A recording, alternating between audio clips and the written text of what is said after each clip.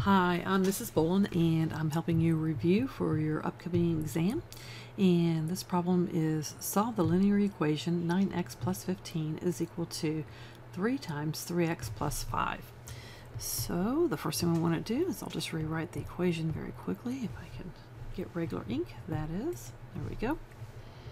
So it's 9x plus 15 is equal to 3 times 3x plus 5. So we're just going to copy down the left-hand side of the equation.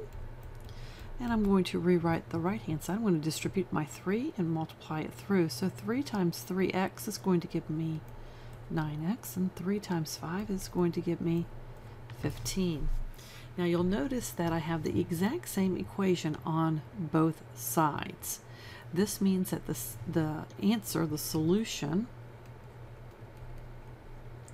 is the set of all real numbers. But let me go ahead and mathematically show you a little bit more why that's the case.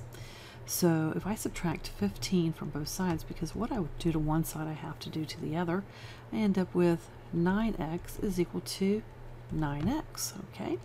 So now we're going to divide both sides through by 9. And when I do that, I lose my 9, and I end up with, oops,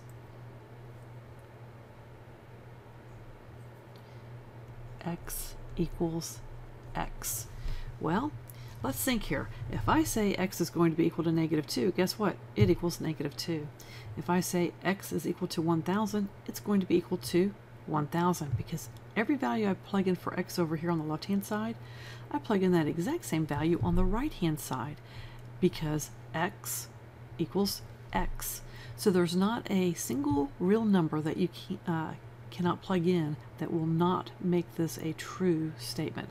So in other words, all real numbers that you plug in to this equation will make this equation true. So your answer, uh, the set of all real numbers